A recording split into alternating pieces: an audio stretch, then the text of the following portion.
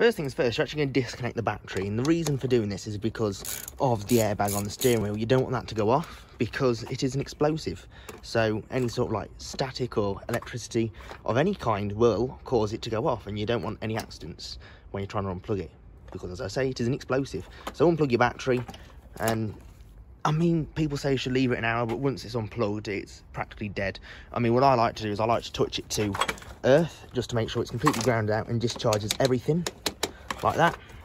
So now we know that the car is completely, completely safe. And this is where it gets fun. On the back of the wheel, there is two 5.5 mil nuts, no, bolts you have to undo. So if you rotate the wheel, you can see it just there and you can't actually see it because it's behind you so I recommend using a phone camera or something like that and you're just to undo that with a 5.5 mil it's really awkward to do this is so try and get that on like so. And then loosen it off. And then now that one's loosened rotate the wheel and you'll find the other side one. So once those two 5.5 mil bolts at the back are undone, all you have to do is pull it off like so. And then you'll find the little wire on the back there, which you have to unplug like so. And that is the airbag removed. Now put this down somewhere where you're not going to blow yourself up in an accident. Um, yeah, so airbags are basically an explosive, so you know, and they do have a life. Um, which is normally about 10 to 15 years. You can see this one tells you to dispose it before 2013, which was about, what, eight years ago? So this airbag's eight years out of date. That's fine. Moving on. Next up is unplug the horn buttons, like so. You can see obviously there's no power. The, you know, we've unplugged the battery, they're not going to do anything. And then 15 mil and crack this nut off. Actually, might be ideal to put the steering lock on to do this. So key out and then lock the wheel. Oh, that is tight, isn't it? Why is that so tight? There you go. And then you can just loosen that off.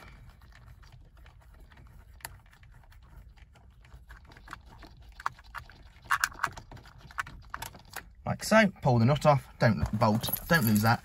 And then you're obviously going to need to take the steering lock off again. So you can now wiggle the wheel off. Now if it won't come off, what I recommend doing is putting the bolt back on a few threads and just giving it a few good tugs. The reason you put the bolt back on is so you don't smack yourself in the face when it comes off. Now on the back you'll see the clock spring, be careful you don't pull this apart and break it. And you basically just need to like pull the whole lot out really. So that's the clock spring squib, whatever you want to call it, airbag squib. It does basically your airbag.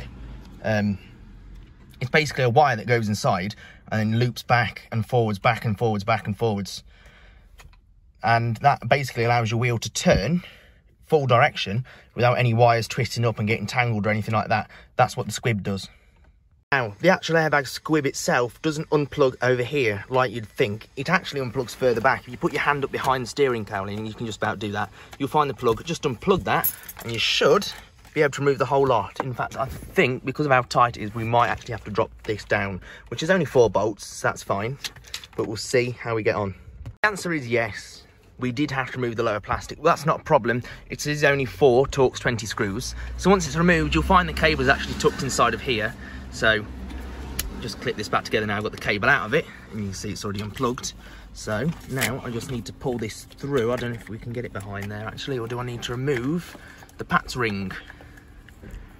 Yeah, I think I'll just about squeeze that behind there. I'll do it in a second when I've got both hands free. But actually, I've just noticed this wire needs to tuck back inside of there, so I'll do that now. Like that. Oh, my camera's pointing on the floor. I apologise for that. There we go. Boom, so I think I just need to, can I get it off without taking the PATS ring off? It's probably best to, isn't it, so I don't break it. That is everything back together and the airbag squib off. And you can see on these cars, the squib is, or the clock spring, whatever you want to call it, is purely for the airbag. So on the back, you've actually got these sort of metal plates here that spin around and push against these points here. And they are what do the horn. So the airbag needs a good reliable connection. So that is using a clock spring, which is just a direct wire link between one and two points.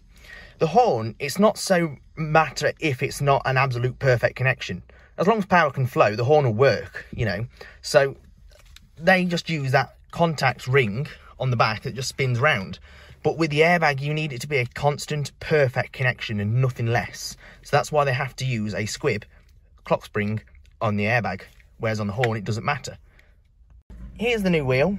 I'm led to believe this is a Mark V XR3i steering wheel. I might be wrong, someone correct me if I am, but I believe it's an XR3i steering wheel from a Mark V. It's a Mark V steering wheel, but I, I, I don't know what, I, I think it's an XR3i. So, as you can see, this one doesn't have an airbag. So, what we've got, we haven't got an airbag squib, we've just got the contact rings at the back. So this now just goes straight on there and bolts up. It's as simple as that. So there's that bolt done up, wheels on. Perfect. So the last thing to do is we've got these two connections which are for the horn button. So we just plug them onto the button. Doesn't matter which one goes where. So they're just spade terminals. So I'm trying to do this one handed and it's not really working. There we go. There's one plug. Like so. And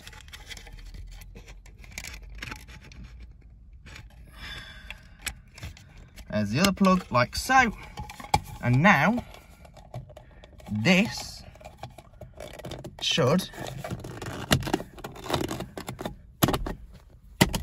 like so.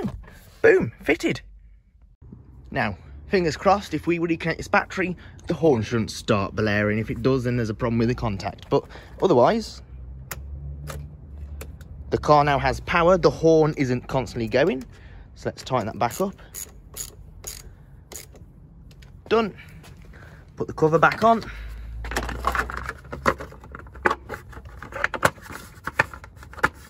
Done. Close the bonnet and let's go and check everything out. So we're now back in the car. The steering wheel's fitted. Does the horn work? Yes, it does. Now, when we switch the ignition on, what's going to happen is an airbag light's going to start flashing on the dashboard because we've removed the airbag. Now, technically speaking, for an MOT, that airbag light should come on and then go out. If it doesn't come on at all, or it is on and indicating there's a fault in the system because there's no airbags that's going to come on and say there's a fault, it's an MOT failure. So technically speaking, because it has to come on and go out, you can't just remove the bulb. But then, since this car's now got no airbags, there's no need for an airbag light. So we can just remove that and there'll be no problem. Um, just disable the airbag system altogether is what we've done because there's no airbag there. The, the, the, car has one airbag, which is on the steering wheel. It's not there anymore. So we turn the ignition on, airbag light's going to come on and it'll start flashing to tell us that there's no airbag.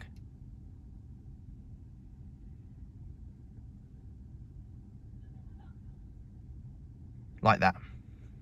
So what I'm going to do is I'm, I'm going to remove that bulb at some point. Um, but for now, I'll just live with that as being the case. And um, yeah, so I'll just set up my radio now because I've obviously took off the battery and it's reset everything. And then we'll go for a little drive.